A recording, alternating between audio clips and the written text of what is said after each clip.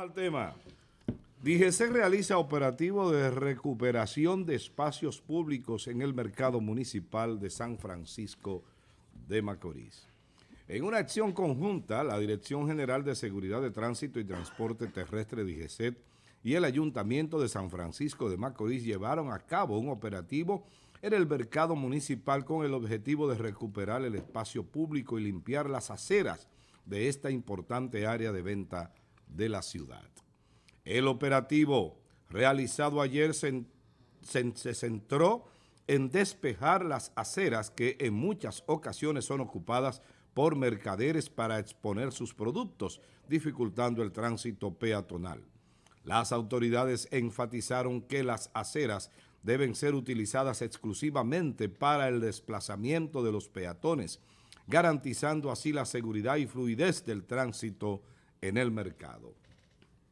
Durante la intervención se procedió a retirar los objetos y mercancías que obstaculizaban las aceras permitiendo un acceso más ordenado y seguro para los ciudadanos que acuden diariamente a este punto de venta. Ahí están las imágenes. Parece que es un operativo nacional porque también leímos en los titulares que ocurrió en el distrito, en la capital, Santo Domingo, no recuerdo, pero en uno de esos lugares también ocurrió un operativo de esta naturaleza. Bueno, muy bien, vamos a la pregunta del día. ¿Piensa usted que las autoridades locales están haciendo lo suficiente para garantizar la seguridad y el orden en las zonas comerciales de la ciudad? Ahí está la pregunta y el número de contacto, el 829-451-3381 nuestra vía de comunicación a través del WhatsApp, donde allí le vamos a leer o, bueno, su comentario o su respuesta se la vamos a leer en el transcurso del programa. Repito la pregunta, ¿piensa usted que las autoridades locales están haciendo lo suficiente para garantizar la seguridad y el orden en las zonas comerciales de la ciudad? Bien. Buenos días, Yerian. Buenos días. Amado, buenos días Francis. Buenos, días. Nadia, a todo el equipo de producción. Y buenos días a toda la gente que como siempre nos ve en vivo a través de Telenor Canal 10. Permítame por favor enviar un saludo a mm. tres fieles televidentes de este programa.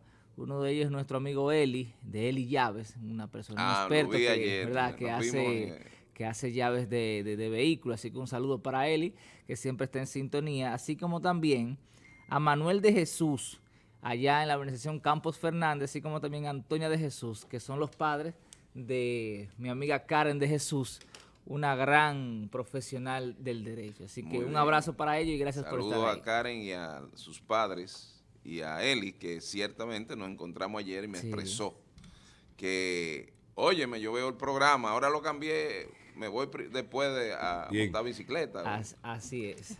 Nadie, adelante con el tema.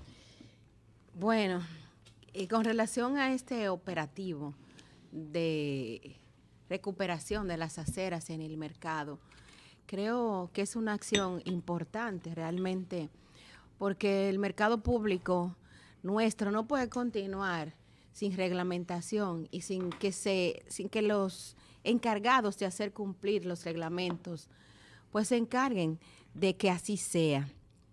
Eh, es una acción que permite organizar también lo que es la venta en, el mercado público y también de mantener hasta a cierta forma controles del tránsito porque afecta no solamente las aceras, sino que salen a la calle también con sus ventas.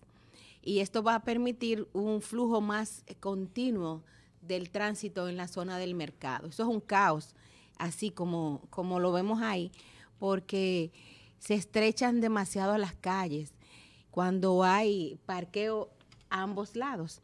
Pero quiero también poner en, eh, en visualizar que no solamente el mercado público aquí en San Francisco de Macorís necesita y requiere este tipo de acción. Ayer veía yo durante todo el día, porque no fue, tuve que entrar y salir varias veces del lugar donde trabajo, y veía cómo se ha perdido eh, la facilidad de acceso que debe tener el Hospital San Vicente de Paul. Señores, eso es un verdadero caos, un tremendo caos.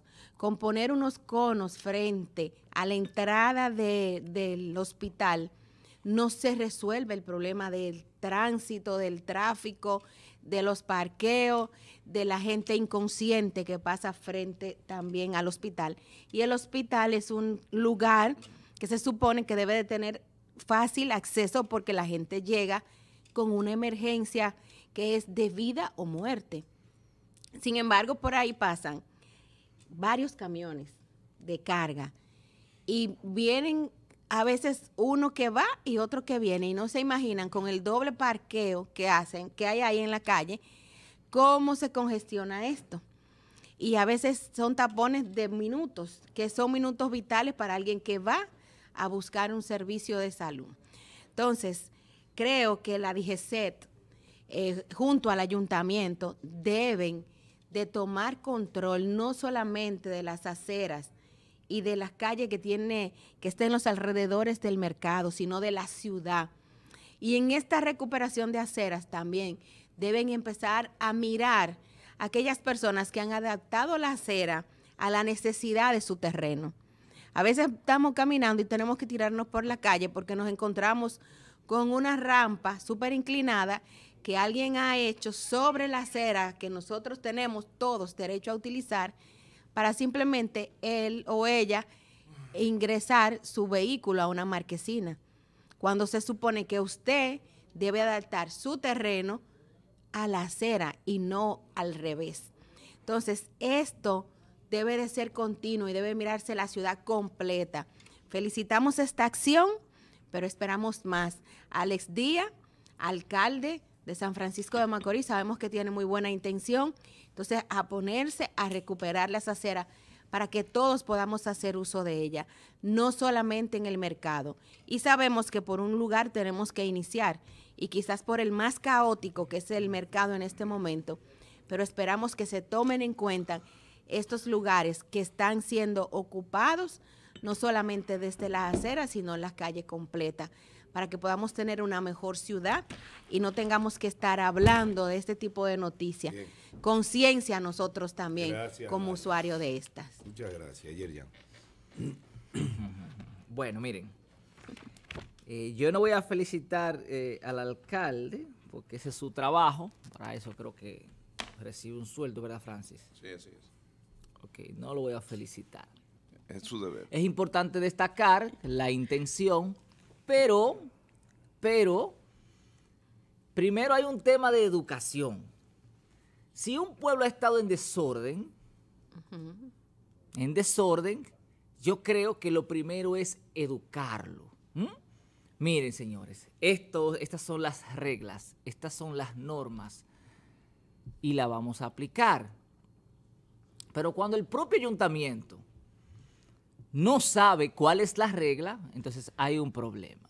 Ejemplo, yo le acabo de enviar unos videos, pero no, no, yo le voy a traer más. A propósito de este tema, le voy a traer más.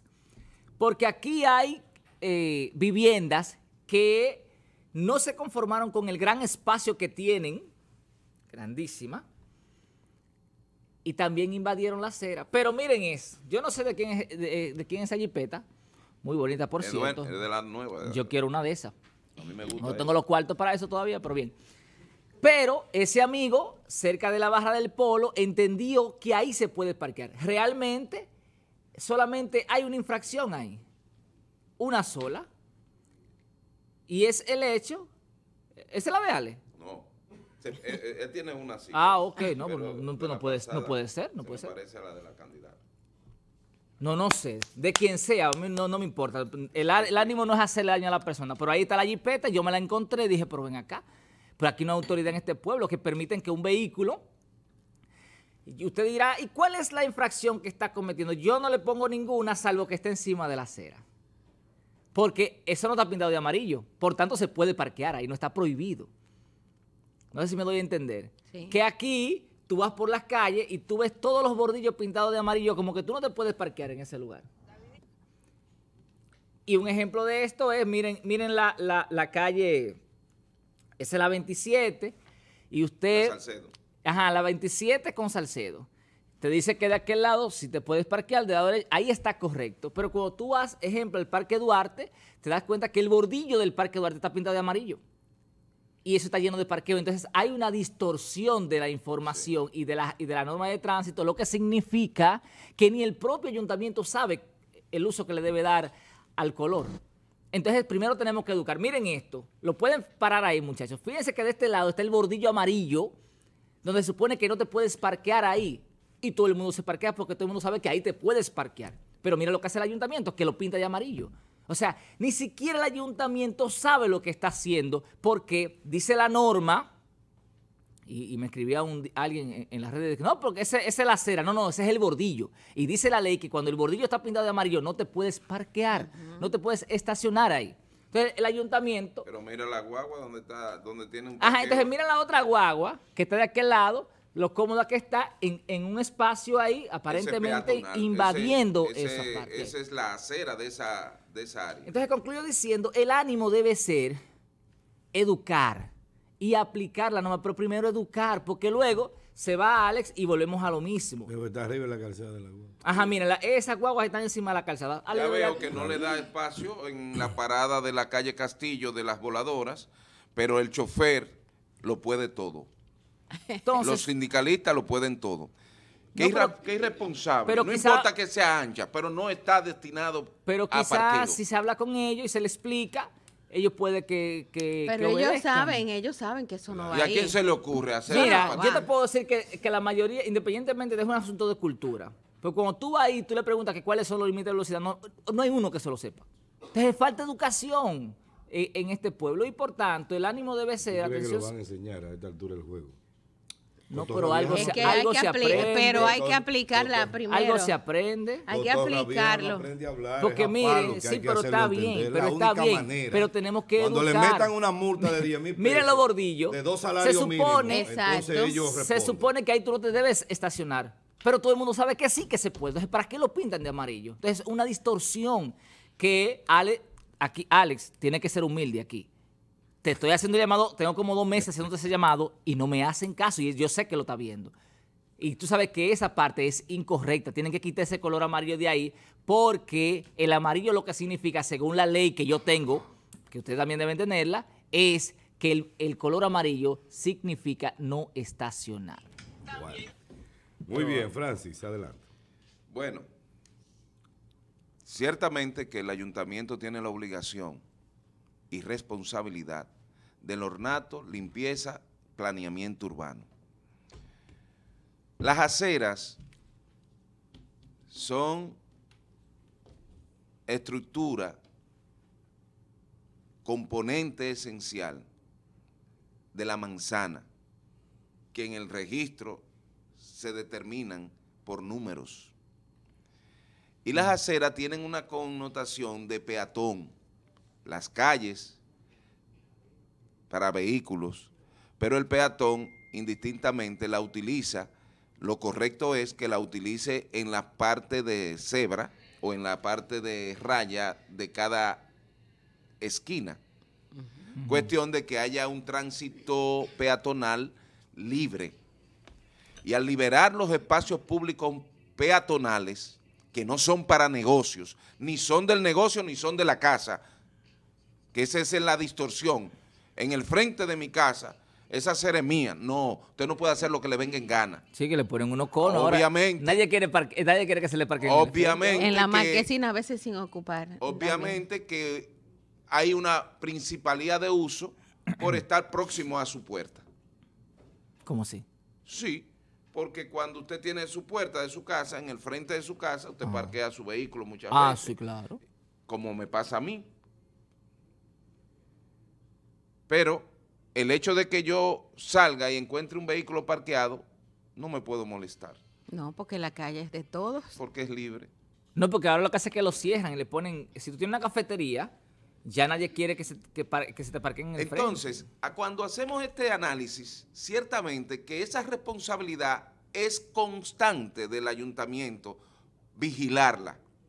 Ahora, la otra parte que yo siempre coloco es nosotros el ciudadano tiene que adaptar y tiene que educarse en que ciertamente el ayuntamiento, la DGC, está haciendo lo correcto con ciertas lagunas.